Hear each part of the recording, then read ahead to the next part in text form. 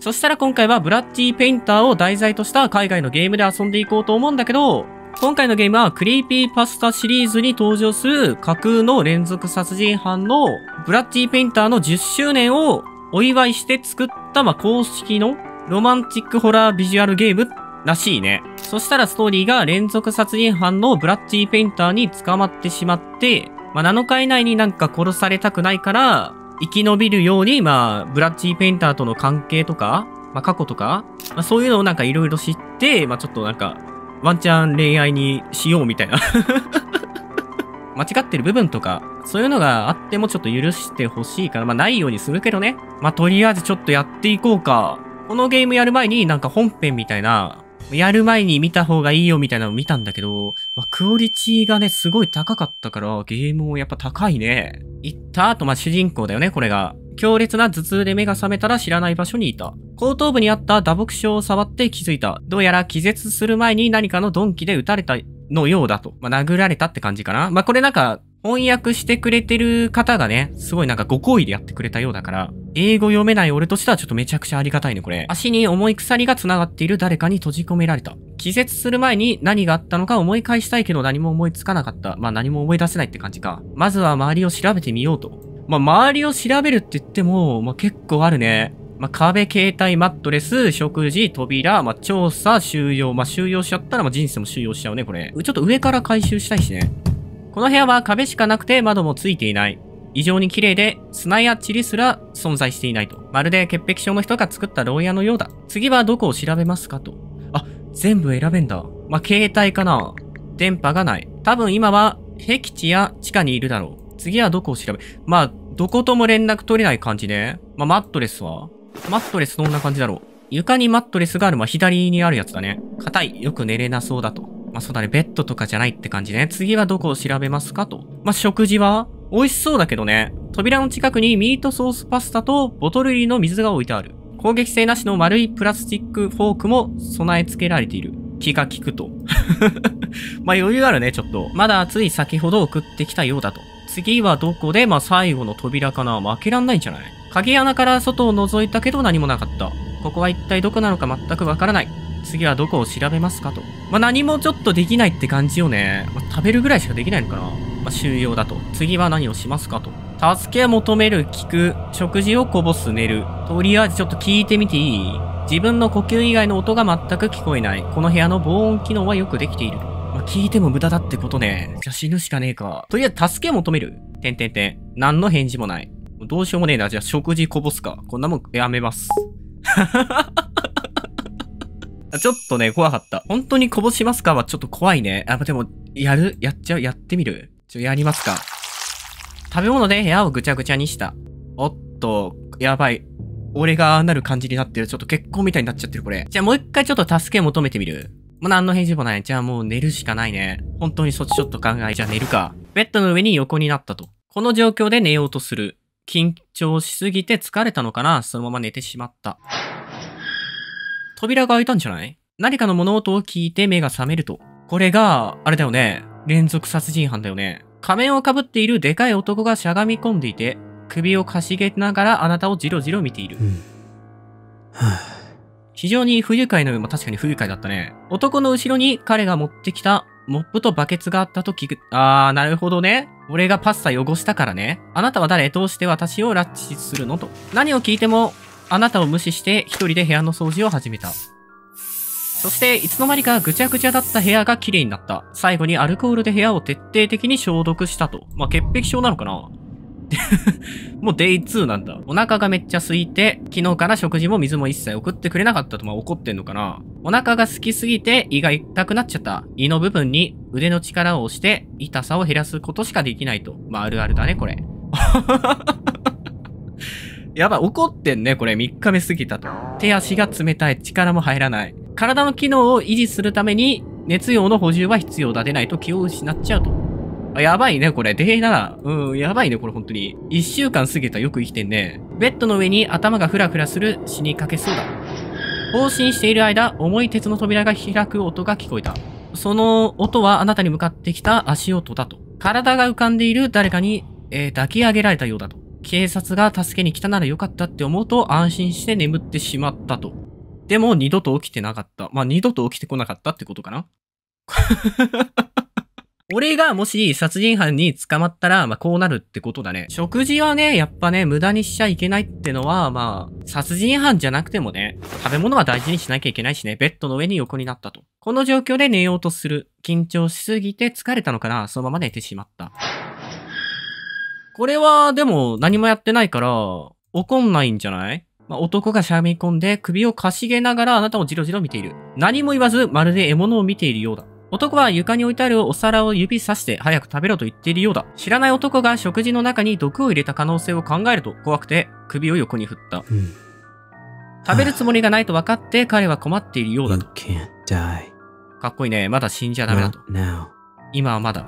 男はゆっくりとした話し方で穏やかな低い男の声だった。冷蔵庫がいっぱいだ。どういう意味 full, no. 冷蔵庫がいっぱいだ。空きがない。Seven days. セブンデイズ。俺でも分かった。7日間ね。彼は考えてつぶやいた won't。be space until seven days later. 空きは7日後しかないと。If you die now, you'll rot. 今死んだら腐っちゃうと。ということは私は7日間しか生きれないってこと？彼はうなずいて扉の方へ向かって去ったと。最悪だな、これ。待って、ここに置いてっちゃダメ。お願いと。どれだけ叫んでも扉が目の前で閉じた。こっからまあ生存するために始めるってことで、周りを調べてみようと。まあ前回は何ももらえなかったけど、今回はね、ちゃんとパンを置いてもらったっていうことね。とりあえず食事を食べた方がいいんじゃないかな。前回食べれなかったしね。パン一つとボトル入りの水一本。次押したら食べるわけでもないね。じゃあ扉とかは。鍵穴から外を覗くと、男の人影が行ったり来たり歩いてるなんだか忙しそうだと。何をしているの？聞いたわけではないって感じね。そしたらマットレス選んで終わるかな？まあ、デイ1は特に何もできなかったってことかな ?7 日の間、なるべく生存率を上げてくださいと。周りを調べてみよう。食事と扉。でも食事がまあパンないね、もう。食べたのかな？開いたトレイ。ダメだもんね。じゃあ扉？鍵穴を調べてみた。何かを見たような？扉の向こうにぼやけた人影が見えた。これ人なのか？まあ、おっさんにしか見えないけどね。まあ、こっそり。助け。助け求めてみるか。助けてと。助けを求めた後に気づいた。あれは生きた人ではなく、人体のパーツで作った作品だと。キャーと、もうそうだよね。ちょっと怖いよね。鉄の扉が開く音が聞こえた。扉をゆっくり開いて周りを見たけど知らない男の人影が見当たらない。まず来たのはでかい冷蔵庫と水槽と手術台が置いてある部屋。そしてもう一枚重い扉を開いた。ここはディスプレイ瓶で満たされた部屋だと。瓶の中には全部人体のパーツで作った標本だ。まるで美術館にいたようだ。私を冷蔵庫に入れるのは標本を作る素材としてのためだったのか。まあ、絵とかも描いて、まあ、左もちょっと怖いしね。俺にはちょっとわかんない芸術だけど。まあ、怖いね。あなたはそう考えていた。この光景を見たあなたは、サンチチェックこれ。まあ、キモ、逃げる作品を見ると。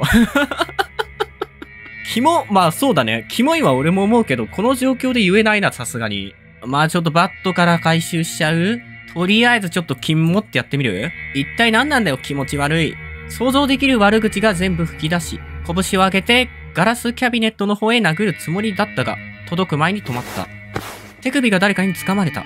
あ、かっこいい。気がつくと、その男はすでに後ろに立っていた。like. 君みたいな育ち悪い人が私は一番関係していない。まあ、あの食事倒した時もそうだった。お腹から痛みを感じた。続いて赤くて温かい液体が腹から流れ出た。海外でよくある叫び声。彼はあなたを殺した。現場も丁寧に掃除した。強酸であなたの死体を溶けた、まあ、なんかね、硫酸とかで溶かした後、庭の土の中に埋めたと。バッドエンドを素材にする価値すらないと。まあ、逃げよっか。バット、またバット回収しちゃう外と繋がる扉を探し回ったけど、どうしても見つからなかった。ひらめいたあなたは隠し通路を探すため壁にへばりついて叩き、叩き始めたと。叩いてる最中に後ろから誰かが毛布であなたの鼻や口を覆った。2、3分あがいたけど気を失ったと。目を覚めたらまた最初の部屋に戻ってきて扉は洗浄されている。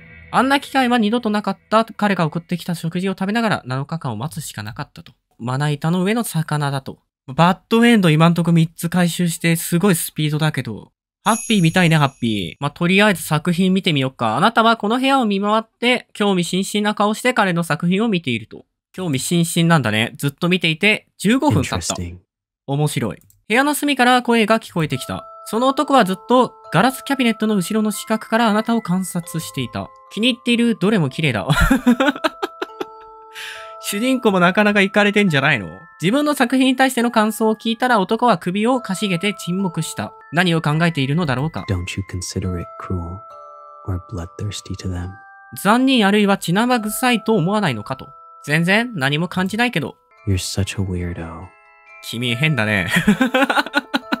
いやまあ、お互い様じゃない変人同士なんか繋がるみたいな、スタンドみたいな感じで、あなたにそう言われたくないねってあなたはそう思った。展示室を一周回ったらあなたは最初の部屋に、まあ戻されたと。寝て今日を終了した。まあちょっとなんかね、好感度上がったんじゃない？生存率は上がりましたと。まあそうだよね。なんか誰にも理解できないと思われてた、そういう作品を理解してくれる女性がいたら、まあ嬉しくなっちゃうよね。昼が過ぎても朝ごはんと昼ごはんを送ってくれなかった。お腹はもうペコペコだと。晩ご飯を待っていたけど来たのは晩ご飯ではなく、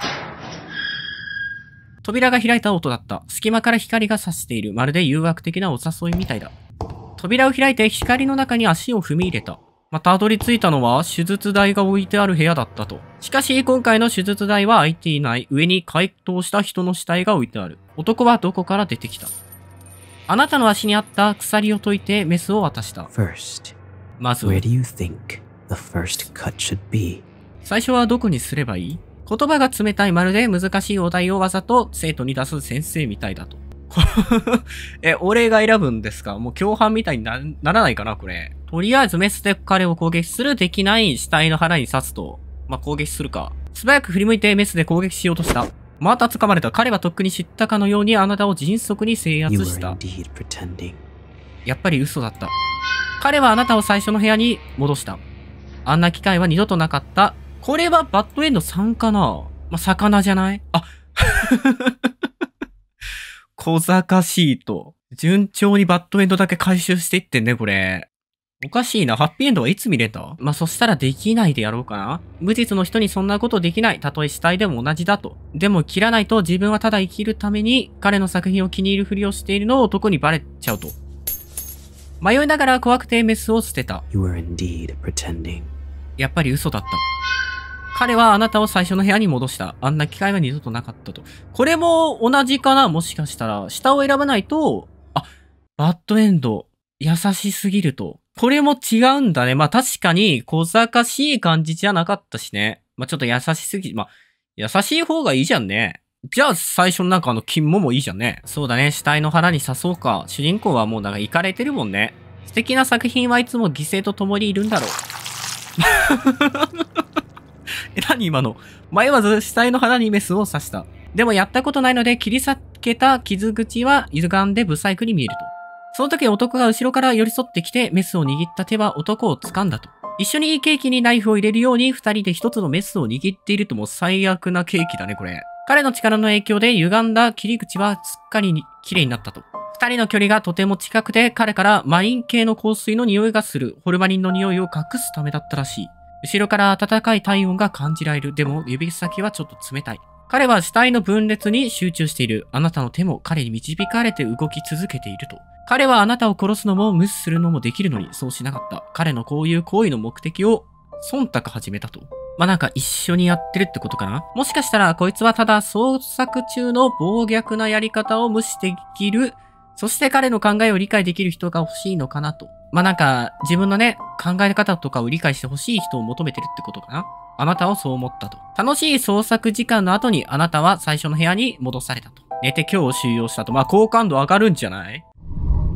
まあ、行かれたやつ星好感度上がんなかったね。まあ、デイ4だと。昼が過ぎても朝と昼ご飯を送ってくれなかったと。お腹はもうペコペコだ。部屋の隅に何か光っている。鍵かな？昨日の夜に男が落としたらしい。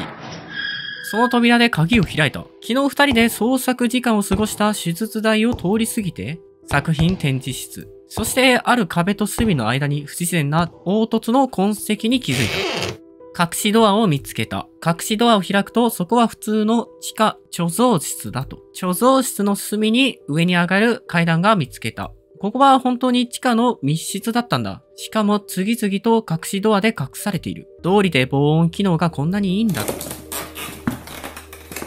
階段を上がると、熱くて重い、ま、木の板が見えたと。力強く押したら、目に映ったのは暖かい木造家屋の室内だったと。先ほど押した木の板は本棚の裏だったと気づいた。周りを見たら、室内には昆虫の標本飾りだらけで、壁にもトナカイの頭の標本が飾ってある。リビングに向かっていったらの前に、このドクターはビデオ上で見たやつだね、これ。なんかね、ちゃんと、あーってなるね、見てたら。リビングに向かっていったら、これは、イケメンじゃん。見目良くて色白の若い男がソファーの上に倒れていると。マリン系香水と軽いホルマリンの匂いが。彼こそがあなたを拉致した仮面男だ。ただ今は仮面を被っていない。寝顔がしかめている、冷や汗が出ているし、震えている病気になったようだと。この時のあなたは、てんてんてん。ここで選択肢ね、隙を見て逃げると、残って彼を看病する。これはね、逃げるね。さすがに。今のうちに逃げないと。いつ逃げるんだよと。玄関ドアを開けて、外は大雪が降っている森だった。どうしてここに来たのか思い出した。一人旅をしていた。夕方の時、森の道で鹿をぶつけてから車が動かなくなっちゃった。深い山の中に電波がないまま30分歩いて、外も暗くなった。まあ空も暗くなったとね。その後森の中に木造家屋の光が見た。そこの住民に助けを求めるのを決めたと。そこであの場面を見た。仮面をかぶっている男が死体を小屋に引きずり込んでいるのを目撃した。しかもあいにく男に気づかれた。山道で走り続けていた。でも男はあなたよりここの地形に詳しいから。あっという間に正面に回り込んであなたを殴って気絶させたと。目を覚ましたらすでに地下の密室にいた。でも今回男は病気のせいでソファーで倒れた。止める人はいない。安心して玄関から出てきた。でも歩き出したばかりで。激しい痛みがすねから襲ってきた。頭を下げたら、雪が真っ赤に染められたと。小屋の周りがトラバサミだらけだったと今気づいたと。雪に覆われていたから気づきにくい。止まらない痛みのせいであなたは前方の、ま雪面雪面に倒れたと。さらに大勢のトラバサミが引き続いてあなたはもうあなたではないただの肉の塊だったと。雪面がさらに赤くなって狼の群れがあなたを食い尽くすのを待つしかなかった。バッドエンド6の6、罠に気をつけてと。とりあえずバットは全部回収したからあとはハッピーだけじゃない？